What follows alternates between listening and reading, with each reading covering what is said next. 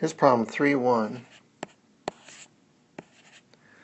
Vectors A and B are shown. What is the magnitude of a vector C if C is equal to A minus B? Taking a look at these magnitudes here, here's 40 and 50 for A and B respectively, and we have a 60 degree angle here. Well, uh, we'd like to uh, set this up into a coordinate system that we can use, and if I were to readjust my coordinate system like this, put x this way and y this way, then it'd be easier to define my vectors. In other words, my vector b is going to be totally in the i direction as I define it. And so b is going to be equal to 50i.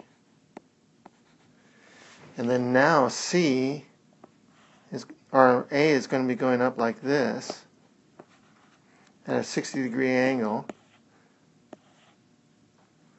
and that makes A equal to 40 cosine 60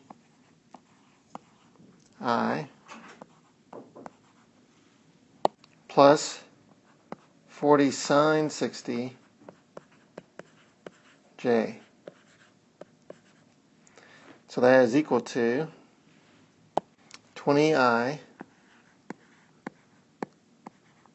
plus 34.64j. Alright, so now we have our two vectors, a and b. And if I say that c is equal to a minus b,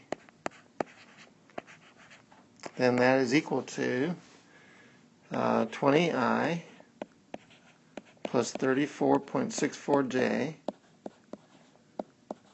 minus b, which is 50i. So this is going to be equal to a negative 30i plus 34.64j.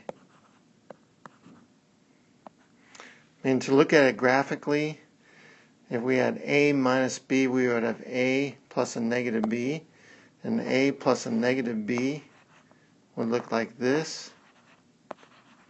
As we're going negative b here and so c would be this vector right here and its x component would be a negative 30 and its y component would be 34.64 so that would be our c. The magnitude of this vector is going to be the square of its components, negative 30 squared plus 34.64 squared. All that square root. And that's going to be equal to 45.8. So that is the magnitude of a minus b, the vector c, 45.8.